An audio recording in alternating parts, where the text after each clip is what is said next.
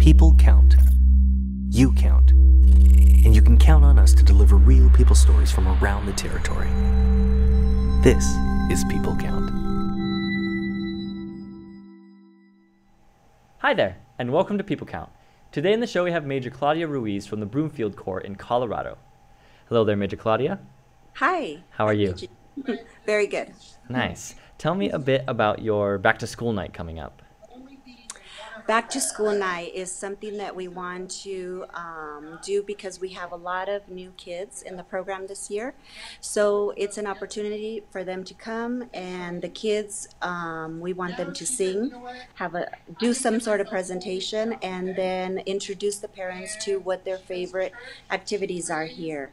Um, we have so many different rooms. Some kids just always love to be in um, like the gym area or the game room area. So we would like the kids to share with the parents their favorite things about this program.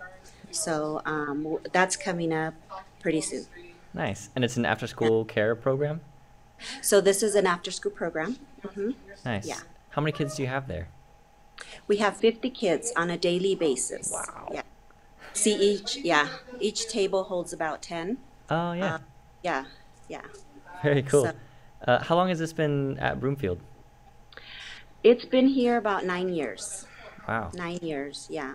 Cool. And then, uh, what kind of effect have you seen this have on the corps? Like, do any of the kids from the after school care come to corps or vice versa? You know what? Yes, um, we have many families that were originally connected by the after school program. So, about 75% of our families that go to the corps are were first connected to the after school program Wow. and um, are doing both. So, our corps has a lot of young kids. Nice. That's really cool. Yeah. Was there anything else that you wanted to share about it? I mean, when they first get here, they um, eat. Most kids are very hungry, so we have snack time. Today is bean and cheese burritos.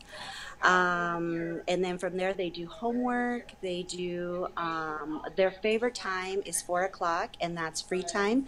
And that's when they could go to the gym. They could go to a game room, either of the game rooms. We have two different game rooms, or they could do arts and crafts, and they really look forward to that.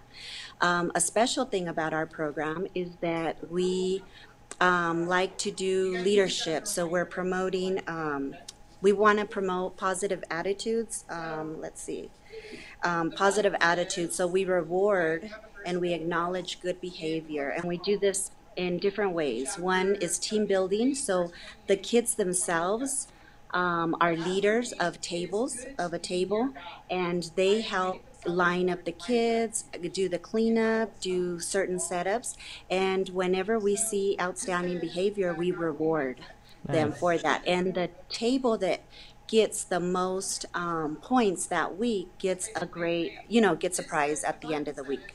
So um, we also give rewards for daily, daily um, good behavior. So we try to focus on just the positives. What are the good things going on? And it really makes uh, for a nice um, atmosphere. Right now, we have devotions.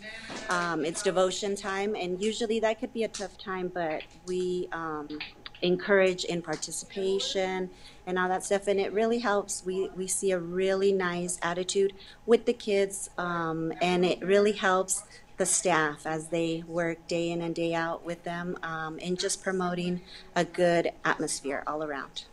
Nice. Well, that's an excellent story. That's really cool. Thank you for sharing. Yeah, thank you. Thank you for asking. yeah, sure thing. We'll see you later. It's really cool that 75% of the kids at the Broomfield Corps came through their after school program. Thanks for watching People Count.